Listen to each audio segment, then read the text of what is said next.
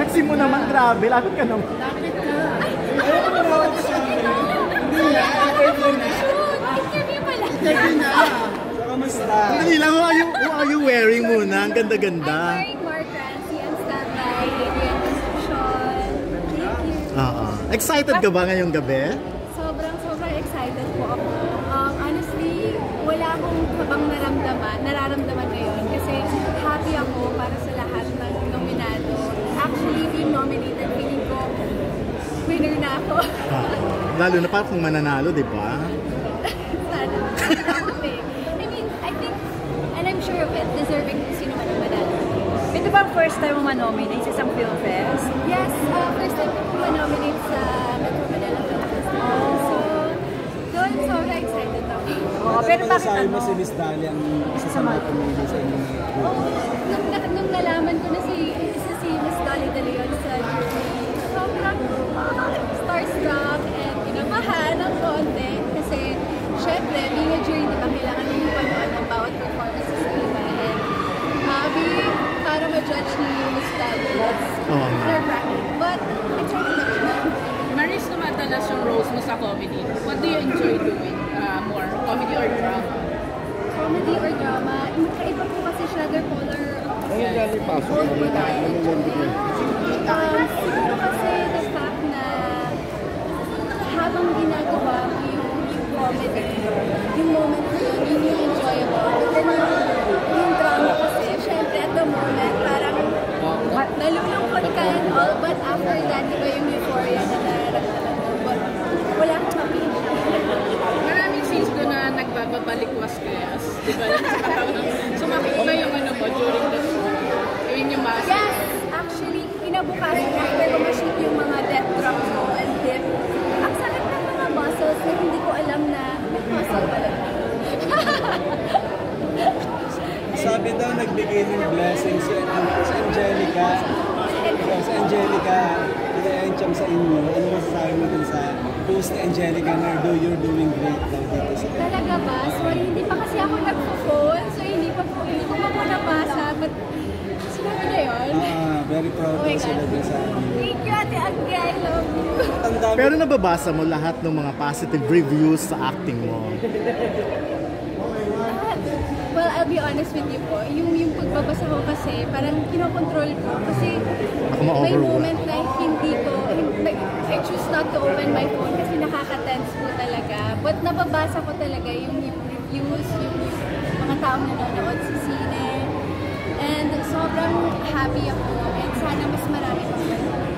number one daw kayo dahil sa pagiging comedy. Kayo Ah. nagbigay ng right sa comedy.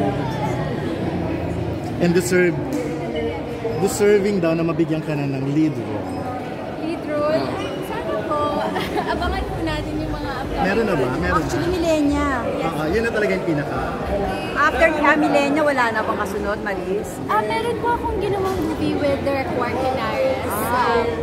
Ah, tapos na po siya sa Slam Dance, Slam Dance Film Festival and meron po siya, kasama po siya sa Udine Far East Film Pero hindi, ah, kasi ilalabas din dito sa Ila- atin. Hopefully, eh, yes, I'm sure na ilalabas po dito sa Ah, okay. Philippines. Pero may tanong ako, Maris, bakit wala si ano, Rico, hindi ka yata ineskotan? um, ganda-ganda pa naman ang gown mo. okay lang po. Ah, a moment po ito ng Here Comes the Groom. And, Ah, ah, mas masaya siguro pag kasama ko So siya talaga na gano'n na, hindi na okay lang kahit ikaw lang, or ni-request mo ba siya na samahan mo ako to escort? naman, parang hindi naman kailangan na, hindi ko naman siya pinilit na sumama sa akin. May mga moments na talaga na gano'n na. Pero maganda rin sana Oo, di ba, kasi- yung special moment mamaya. Invite me. Para at least nandyan yung, la- di ba? Ah, at the moment po kasi he's in La Union. Ah, yun. Kasi siya sa Kasi- ah, tinatayo niya um, hotel and food mart doon na Port San Juan. Ayun. So, Pero- review niya, Anong review niya sa'yo? sobrang, sobrang gandang-ganda siya sa pelikula. Tawang-tawa daw siya. Nakikita ko naman siya sa premiere night as in tawa siya ng tawa. Binabeki mo din siya may dalawa lang. Pag kayo Ah, na, nakausap mo siya, ginigilinggo mo ba siya? Ano? Oo naman. Wala makakatakas. Wala makakatakas. Pag nagre-rehearse nag-choice ka ba ng role? I mean, nakikipag-pro lines ba si, ano, si, si Rico?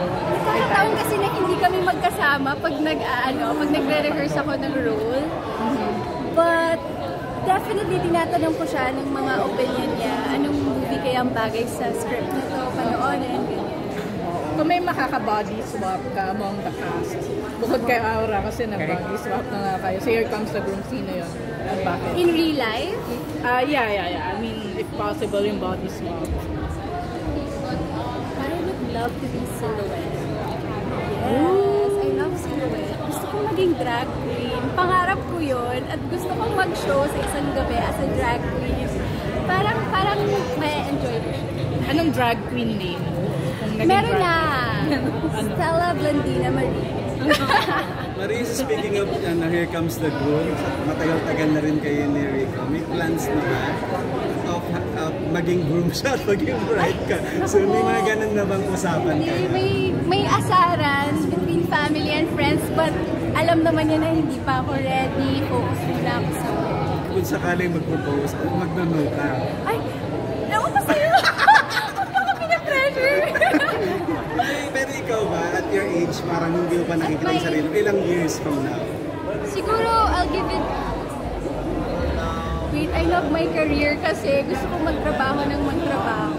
So, munang mag-focus talaga sa career at wala pa yung headspace ko doon. Tsaka maganda kay Rico, pinagbibigyan ka muna niya, di ba? Hinihintay ka niya. yes. Pero syempre kailangan merong time yan, time frame. Mga ilang taon pa kaya? Sinabi mo ba kay Rico, "Mag- pagbigyan mo pa ako for 5 years. 20 years. At 20 years, grabe talaga. Anong dream wedding? Meron kang Dream siya. wedding. Beach din ba? Katulad ng dito sa... Hindi naman siguro sa beach. Siguro gusto ko yung, yung wedding mismo sa San Agustin. Ah, San Agustin. Sa, sa church ka talaga, traditional. Talaga. Pero sa reception, sabi nga ni Blisilda, ang wedding sa church, ang reception sa dagat. Ah, may ganun. Ay, hindi. With ano? What makes What makes that of you click? Oh, um, ang dami po namin kasing um, things in common and marami kami nakapag-usapan like music, dance alive, and sa relationship kasi namin, it's not just about love and all, but it, we also talk about our future, future plans, and especially my career.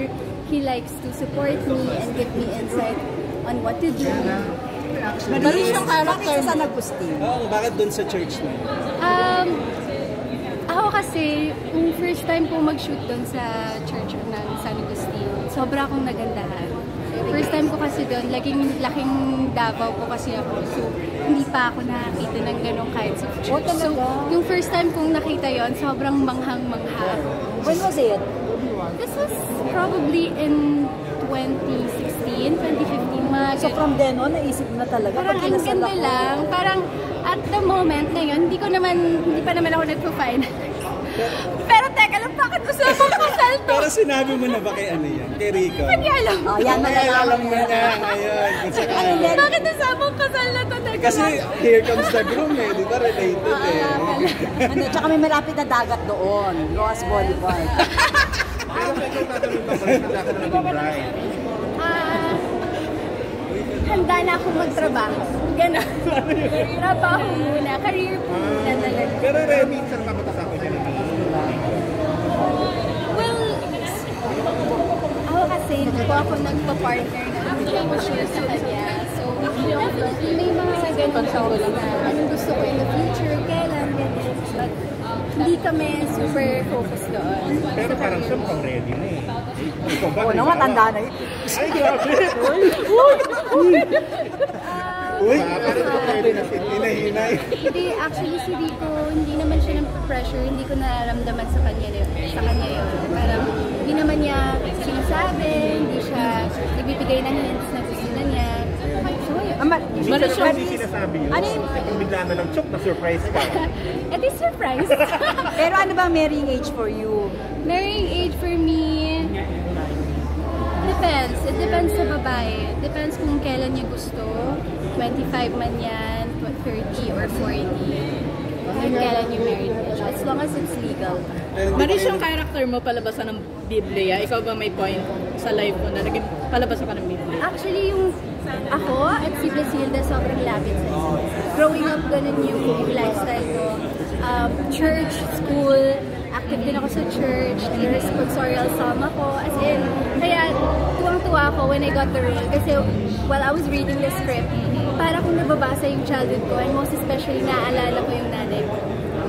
Eh ano, ah, last ko na lang to Maris. Si Rico na ba ang right guy? Si Mr. Right? Nakikita mo na bang siya? Yeah. Oh. Thank you, Maris. Thank you.